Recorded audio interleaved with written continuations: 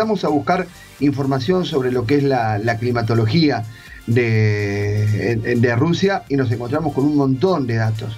Algunos ya los hemos expresado acá en este micrófono cuando decíamos que para tener una idea de lo que es Moscú, por ejemplo, nosotros tenemos que, que, que Argentina tenga la capital, que Buenos Aires esté en Ushuaia, y que desde ahí se proyecte hacia la Antártida, para tener una idea de lo que es geográficamente, cómo está distribuida geográficamente en latitud y longitud la, la, federación, la federación rusa. Eso para dar un dato nada más y entender por qué las condiciones meteorológicas son tan severas en los inviernos y también en los veranos, ¿no?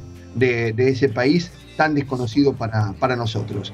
Pero en lo que tiene que ver con lo meteorológico, es, ellos están entrando ahora, ya en una semana, así como nosotros vamos a ingresar al invierno, ellos van a estar entrando en el verano.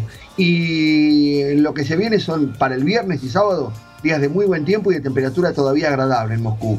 23 a 25 grados de máxima y con buen tiempo. Si hay lluvia, puede llover hoy.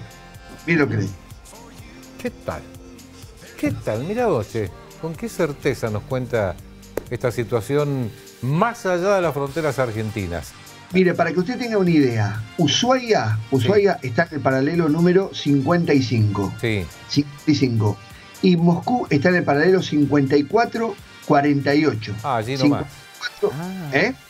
Allí nomás, digo. Ahí nomás, ahí nomás. Esa es la distancia que tienen con el Ecuador. Igual a la de Ushuaia prácticamente. Algunas décimas de grado de, diferencia. Bueno, y fronteras adentro y más adentro todavía, aquí en Mendoza. bueno, acá un frío, un frío ruso. Acá frío.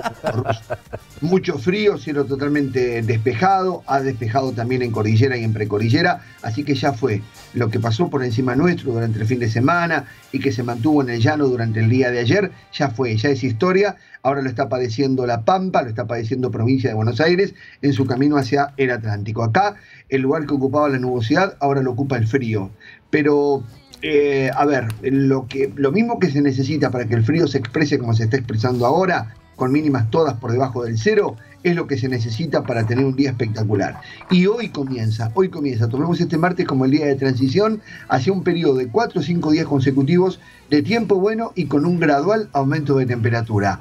Gradual hasta el viernes, después va a ser mucho más notorio y mucho más este, claro el aumento de la temperatura, ¿eh? para, el, sábado y para el domingo. Bien, eh, la temperatura máxima para este día martes.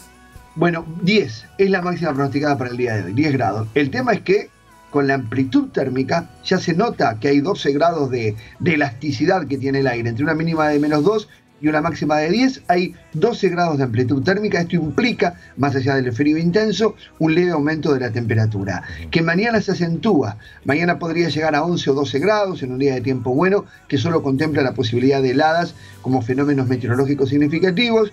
El jueves ya estaríamos entre 12 y 14 y el viernes, el viernes veranito, 14 a 16 y puede ser el viernes, Ricardo, atención con esto, el más frío de los siguientes tres del sábado, domingo y del lunes. Ah, mira vos, mira vos. Eh, a esta hora, y como diría mi compañera Ferrara, cero grado de temperatura, ni calor ni frío. no hay temperatura. Nada. bueno, eh, completo el día para mí, ¿eh? Completo el día. Ya con esta comunicación me doy por hecho.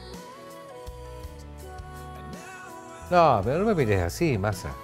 Bueno, listo. Quedamos así. ¿Usted está por venir por acá, para Mar del Plata, no? No. ¿Usted por acá tampoco? Sí, yo ya me voy el 23 para aquel lado. Esa. Es bienvenido, sabe, ¿no? Eh, no sé, no ah, sé, tanto, pero no importa, lo voy a intentar.